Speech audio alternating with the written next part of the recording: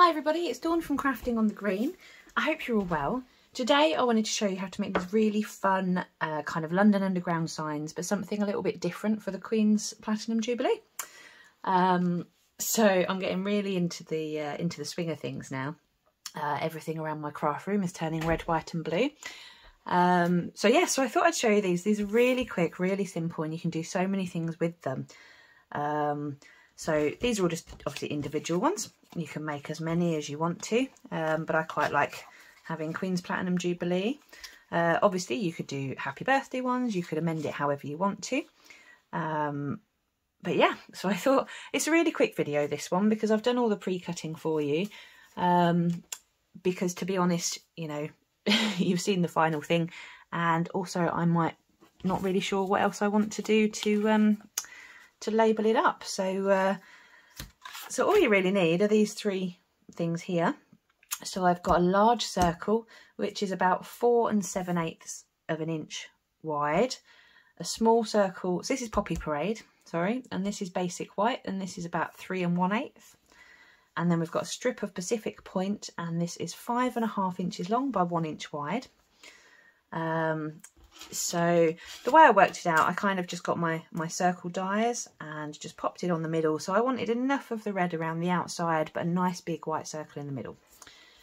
So, so all you've got to do, once you've cut these out, is basically take your glue and glue them together, which is really nice and quick and simple.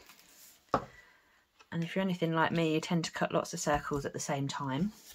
So when you're gluing your strip, tip for you, because I didn't do this the first time, you just want to glue somewhere around the middle. You don't want to go too close to the edges because uh, obviously it's going to overhang slightly.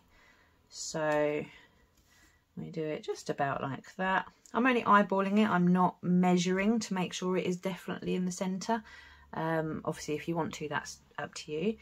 Um, but as you see, we now have an underground sign. Um, the letters that I used to label it up was from the Playful Alphabet set from Stampin' Up, but that's now no longer available from the current catalogue. Um, however, you might be able to find it online on a sale somewhere. Um, the next thing I wanted to show you, it's the same theme, um, but here I have made some bunting, because you know I like my bunting. Um, and again, I've not labelled this up. I'm not sure if I'm going to put any lettering on there or not. Um, but this is made in exactly the same way, just obviously using a smaller circle die. So I've got my bits here for you. So again, I'm just going to glue on the basic white and pop it into the centre of the Poppy Parade. And then again, with the same with the strip, I'm going to add the glue, but only roughly to the middle. I don't want to go too close to the ends. And then we'll stick that over the the centre so it overhangs on the sides and then I left myself an extra bit of twine so that I could stick some more of these on. I think I only want about five or six of them. I don't want it to be too long, but obviously you can go as many as you want to. So all I've done, nice and simple. I want to keep it very simple. Um, I'm just going to add a little bit of sellotape to the underside roughly trying to keep about the same-ish length in the middle. Um, and I want it closer to the top than in the middle. And I'm just going to tape that on. So they're not going to be the most robust.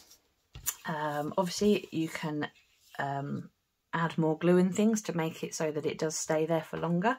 Um, but as long as they hold up for my afternoon tea party, then that's all that I really worry about.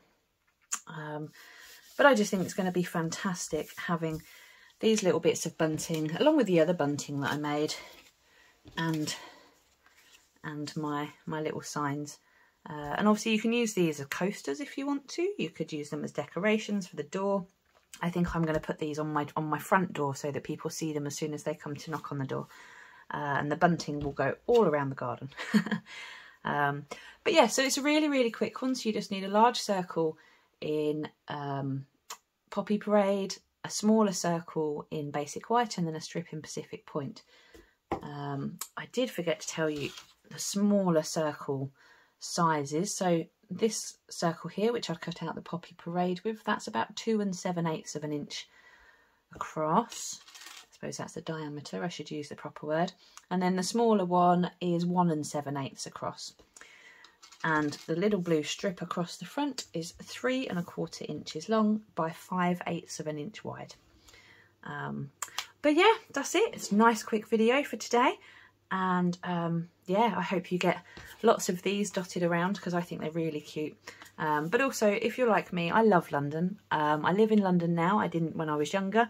I still love London. So I'm so excited to be making these because I can pop them all around my house. Um, but yeah, if you know anyone like me who loves London, you could make a lovely little birthday card, uh, all sorts of things. So, uh, but anyway, that's it. So thank you very much for watching. I do hope you give this a go and that I hope you enjoy your celebrations for the Jubilee. And uh, I will see you again soon. Don't forget to subscribe. Thanks very much. Bye bye.